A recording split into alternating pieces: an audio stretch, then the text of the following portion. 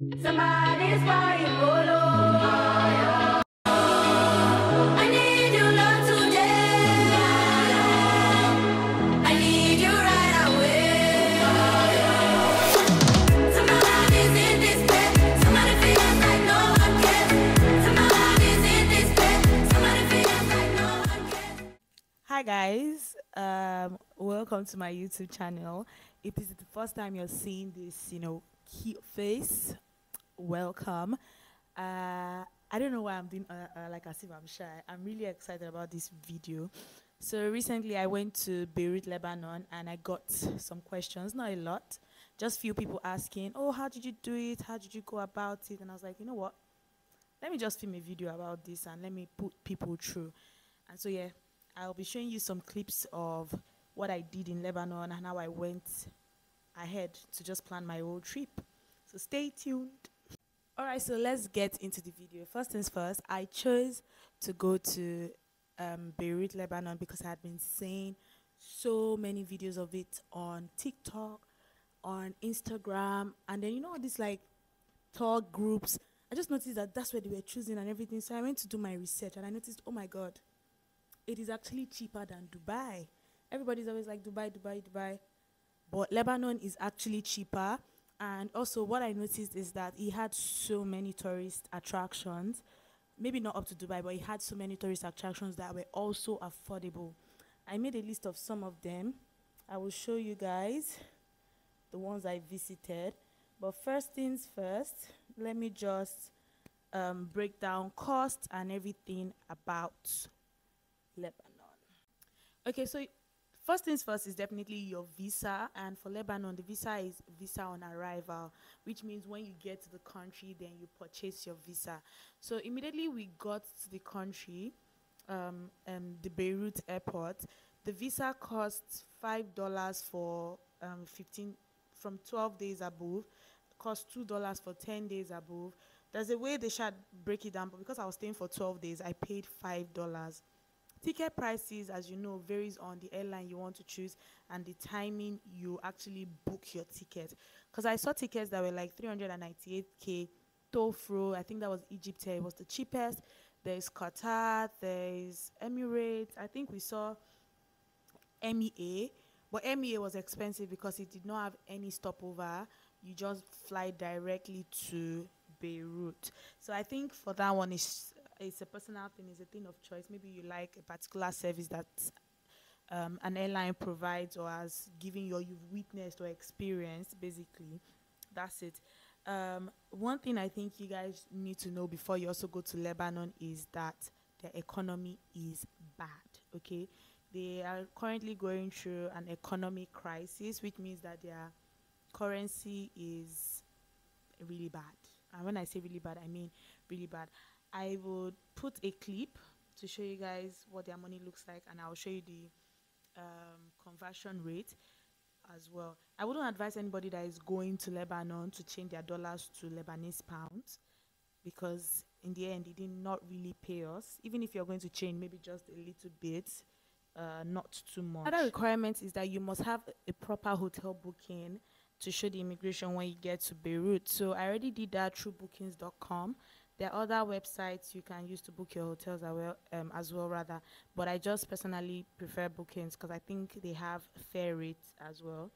Um, I booked a night at Votre Hotel. I think it was about $120 per night. And I just wanted to stay there because I had already searched that it was close to somewhere that I could um, do paragliding. That's an activity. So I was just like, okay, I will stay there for the day, go and do the activity, check out, but my, my luggage will still be in the hotel and do the activity and just, you know, come back to pack my load and then go to another hotel that is actually in the city. So um Votre Hotel is actually at Jounieh. It's about 40 minutes from the airport, so that's actually quite far from the center.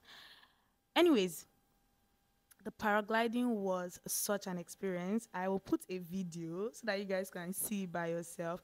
If you are scared of heights, I won't advise it, but it, it was it was it was amazing. It's something that everyone should do.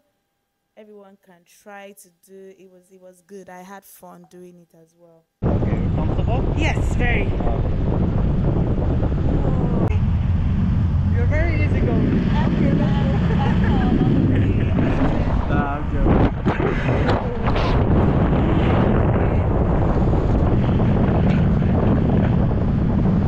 Wow. What, what ocean is this? Uh, Mediterranean. Oh, Mediterranean Sea.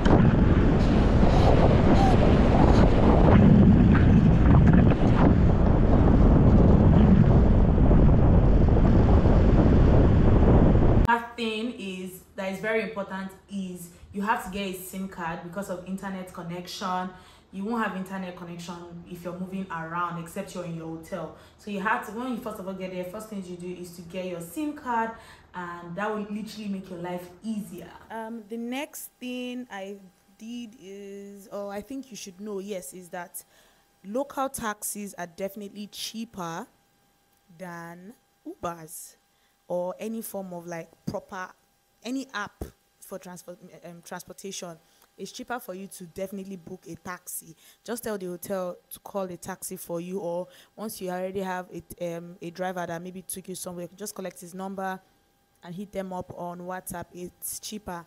But there's something I also noticed, and that's that um, the the the cost for going out is cheap, but when you are coming back, it's like times two. I don't understand how that works because it's like the same distance, but that's just how it was every single time. That's just how it was every single time.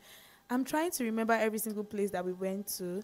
Okay, so for paragliding, uh, I will put their contact also in the description bio. Uh, it's called Tele Telegraph something. I can't remember their name. Anyway, so once you buy your ticket, it is 80 eighty dollars per person. You get to paraglide. You also get uh, a GoPro video. That's the video that I already um, kept. That's the clip you guys just watched, rather. Um, you get it immediately, and they will also give you some tickets for the cab, um, cable car. The cable car will take you over Jounieh, so you can see like kind of like the city of Beirut. And once you get up, you're also able to visit the Lady of Lebanon. It's like a it's a statue, like a sanctuary. People are really quiet there. People go to pray, and everything is like you know, I feel like it gives like the Catholic vibe because it's um, Mary, it's the statue of Mary, and then people just have candles around it, around her rather. I'm sorry, and they are praying. Yeah. So moving on, the next thing, how can I forget this? How can I forget this? It is so so so important to carry your pepper. Maybe because I'm Nigerian and I kind of like spicy food, but these people do not understand the language of spice. Everything was so not spicy. Even when we say, please make it spicy, we didn't get any spice. At the point, we are just like so tired of having burgers all the time. And I was just like, I wish I came with my pepper. At this point, Tabasco was not even doing it anymore because Tabasco has like this aftertaste. I don't know if you guys get it. It was not just working anymore. I was just like, I need my pepper. Like I just wanted pepper so bad. So yeah, I'd advise you to take a pepper as well. And let me see. Next hotel I think we went to is called Kempinski. Kempinski is a chain of is obviously like an hotel chain. It is expensive. I won't even lie. I think Kempinski was about two fifty or two seventy dollars per night, which is pricey. But the hotel was fabulous. Their service was fabulous. I enjoyed the pool. I also put a clip of the pool for you guys to see. I really loved the pool area. Um, the breakfast was not so great, but it was it was it was decent because they would make adjustments. You're like, oh, I want this, I want that. I remember when um, my fiance was trying to get eggs, and he was like, please make it spicy. And you guys, these people said, you want spicy, spicy you shall get. It was over spicy at this point. We couldn't even eat it. That's what happened. Okay, so the next thing is people are always like, oh my god, it snows in Lebanon. I don't believe it. It does actually, but it's like in a far area called Faraya. And one of the questions I asked actually um, someone on Instagram when I saw that it snowed, I was like, oh, do I have to come with my snow outfit or is it possible for me to rent? And she was like, either anyway. So I just like, instead of me carrying so much load, why not just rent it? I went there, guys, it wasn't cheap, but you can actually bargain. That's what I noticed because I met some other girls that didn't bargain, and when they heard our prices, they were like, what? They have been scammed. So you guys, if they tell you something maybe twenty dollars, bargain, say five dollars. If they don't agree, say, oh, God, take five dollars. Insist. They would eventually like just say, okay, take it. So I rented my whole fit. I would, I think I have some clips from Faraya. I will also put it inside this video. Faraya was such a vibe, and that was actually my first time of seeing snow. I don't know if I was excited to be honest. It was not. It was cold, but it was not freezing cold because it was already melting and it was close to summer already. But it was so hard to walk on the snow. I was just like, okay, so what's all the hype? That's how I felt. But yeah, it was a good experience. Like I mean, I finally saw snow in my head. I was like, yay, and all of that. So that was that. Um, also, they have this go karting place, which is so much fun. I think it's thirty dollar per lap. I didn't do it, but my fiance and his friends did it, and they think it was bomb. Uh, what other thing did I do? What other thing? Oh, I went drifting. Honestly, I would have never thought I would say I want to drift and everything, but I was just like, let me give it a shot. So you enter these cars and you're drifting and you're trying to like stay on the spot, but yet you're spinning the car. That was that was like real good memories. I will also add the video of my drifting because I actually did quite well and they were giving me kudos. So yeah, it's not easy, okay? A multi-talented queen. Um I I'm trying to remember. Oh, okay, okay, I remember. We went somewhere called Batroun, and Batroun is like this old village that gives like the Italy vibe. It looks like it feels like we're in Italy because it's like the old buildings in in Lebanon. They are still like houses made of rocks and everything. It is absolutely beautiful. We went to I can't remember said something cathedral that overlooks the Mediterranean Sea and it was beautiful. I took some amazing videos and pictures there. I was just like, wow, God they create because that place was beautiful. I went at sunset. Most people I have seen go during like daylight because of pictures and everything, but I went at sunset, um, Netherlands, and I loved my pictures. I loved my videos. It was exciting. I walked all around, explored the beach, and then from there I headed to um, I think it's called Murray's, a restaurant, and I had dinner. The dinner was it was fair. I won't lie, it was fair. It wasn't so bad. it wasn't so bad. Um, I think for food, depending on the, the standard of the restaurant you go to, per head you shouldn't be spending more than 50 60 dollars. So I think that's fair as well. Um, when we saw that we were already spending so much money, we decided to go to a hotel that was rather cheap and it was hundred dollars per night called Bossa Nova. The facilities were not so great, but the hotel was decent. Everything was working, and that's what we needed. And it was also close to the central. Anyway, you wanted to go to Chap Chap, you're there. So it's not bad as well. I will also put the name in the description link. Um, let me see. I'm trying to remember other things that I just anybody that will be going to Lebanon to for the first time should know. Um, oh, okay, I remember one. So activity wise, there's there's a whole lot to do. I didn't even do everything at the end of the day.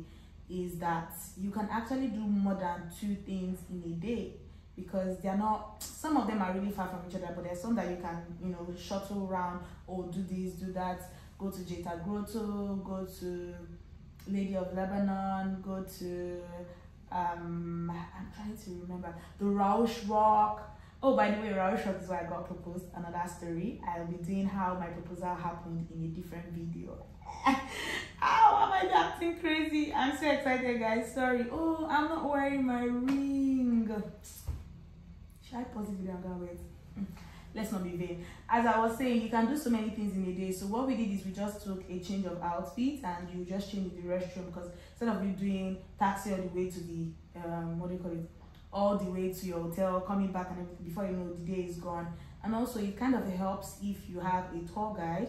I highly recommend Ghady explores he's amazing. He helps with the videos and pictures and just kind of he knows the locals more and speaks arabic. Because oh, by the way, not all of them speak English. That is a in fact, eighty percent of them don't speak English. So you need someone that can help you trans um, translate whatever they are saying, bargain better with them, and like they just know the place better. It's just like a foreigner coming to Lagos and you are taking them to a co market. Of course, you that you're in Lagos, you know better and you know like the corners, shortcuts, and all those type of things. Ghady was really helpful. He took our pictures, took our videos. Sometimes even you know got us extra privileges at some places. So yeah, I highly recommend him. Also, he's very friendly. His service is just great. I will also put his link in the description bio, and you guys can just hit him up and you know plan your trip better. Um, one oh one last thing, the people in Lebanon are super nice. I've been to a few places, and so far I will give it to the people of Lebanon that every single person was really nice and very amiable to us. It was it was a good feeling, like oh I'm in another man's country. I didn't feel so weird, or like I wasn't so conscious about myself. Even if I was black, I'm black and I'm dark skinned. I didn't feel crazy. I was just like, I'm feeling myself. This place is not bad. That kind of thing. Although I got a few stares from some children, and they literally came to say, "Hi, this is my friend." They're trying to introduce themselves, and um, my tour guide just explained that that kind of child has probably never seen a black person, so they are fascinated. But he didn't do it in a way that made me feel uncomfortable, so that's why I'm like, I didn't mind it. Um, I think for this video, I've told you guys enough. If there's any other thing, I will include it in my other video after this video. Also, you guys should know prep because be telling you how I got proposed to at the Raouche Rock in Beirut. I'm excited and I know you guys will actually enjoy that one. So yeah, that's a video for you guys to look forward to. If you enjoyed this video, please give it a thumbs up. If you know anybody that would be la- that would love to go to Lebanon, please, please, please recommend this video to them. I know it will help them, you know, plan their itinerary better. Um, what else? What else? What else? Don't forget to subscribe to my channel. And yeah, goodbye.